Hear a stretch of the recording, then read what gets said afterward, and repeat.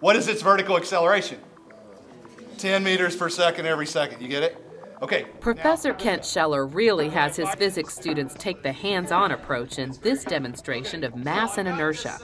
All right, Sam, please demonstrate for the class how mass can be our friend.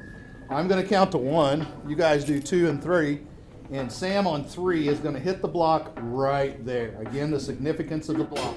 I cannot stress enough. One, two, three. Nice. That's very good. So you see, mass was certainly my friend. You may have noticed that the professor again knew the student by name. At USI, faculty enjoy getting to know their students as they make the process of learning by doing fun. It's one thing to see a drawing of a sine wave in a book, and quite another to see one created using a steel pipe, a burning gas, and a sound frequency.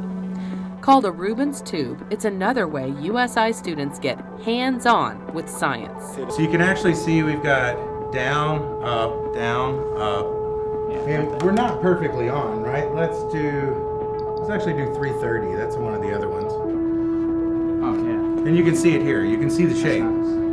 So you have a nice standing wave. And here we probably have gas pressure issues because we're so far away from it. Yeah. But it might settle out. Gas, more gas might get down here. Mark Hubbard has benefited from the opportunities USI has given him, and he believes avenues for success begin by building relationships. If you're on the edge about deciding whether or not to come to USI, I strongly encourage you to come and take a tour around campus and visit a couple classes and talk with the professors here and other students on campus and see how that relationship can connect so quickly and how comfortable talking with the professors here really is. The Pott College of Science, Engineering, and Education is one of four colleges that make up the University of Southern Indiana.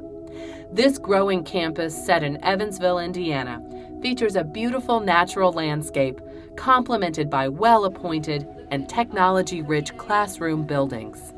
We've just expanded the Greenbelt Trail system that wanders through campus updated our fitness center, and we're preparing a state of the art teaching theater. Our recently renovated University Center is a popular gathering place for students throughout the year. Evansville is Indiana's third largest city and boasts an attractive, vibrant, and thriving downtown along the banks of the Ohio River. Home to a new arena, as well as historic landmarks, there's always something to do. USI offers students a great mix of urban access and rural charm. It's a place that students are proud to call their university. I think it's a very student centered environment. I think a lot of different kinds of students can be successful here. I feel like I've actually developed a, a sense of dedication and responsibility to not just uh, my life and my goals, but also to the field of science as well. No matter who you are, what you like, what you dislike, you'll be able to fit in. You'll be able to find your little niche, you know, of where you belong here. And so you're not going to be an outcast. You're not going to be an outsider. There's always room for you. We think you will like being at USI and the Pott College of Science, Engineering, and Education as well. Our graduates are well prepared for life and go on to do wonderful things.